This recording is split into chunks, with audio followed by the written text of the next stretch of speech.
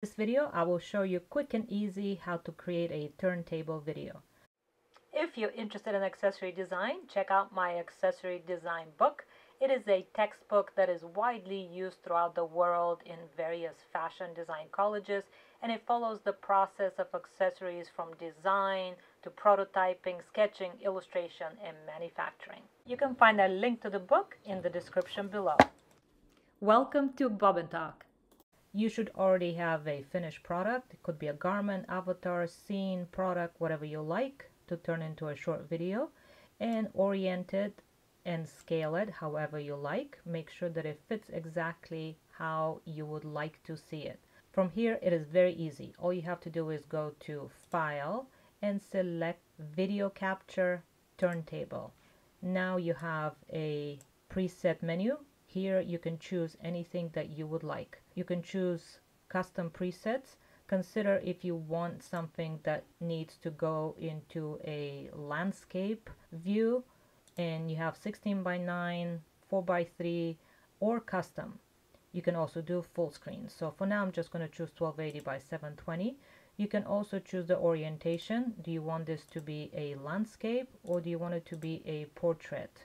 And in the portrait you can also have custom presets or you can choose whatever the presets you would like this to be. If you choose portrait for example here you have preset width and height you can still play with that and choose something different and make sure that that fits the type of screen that this will be previewed at or the type of presentation that you're putting this at. You can also hover over the 3D screen and with your mouse scroll button you can enlarge or make the product or avatar whatever you have in that screen smaller or larger so I chose portrait custom for width and height and I also zoomed it a little bit more to see more of this particular product the direction of the rotation can be chosen right here. You can go clockwise or counterclockwise. You could also choose to record two different videos, one counter and one clockwise. The duration of the video can be changed here. For example, it could be, you can go up to five seconds.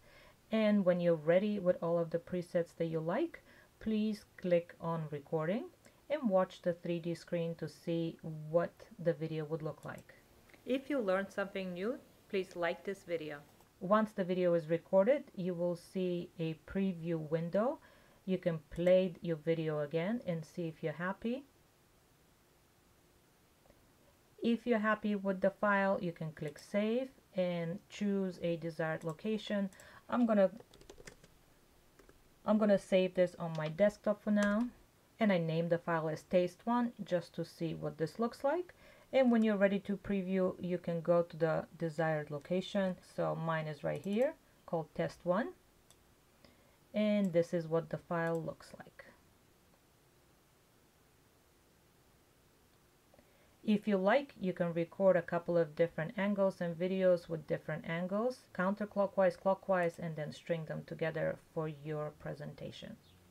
That was quick and easy how to create a turntable video.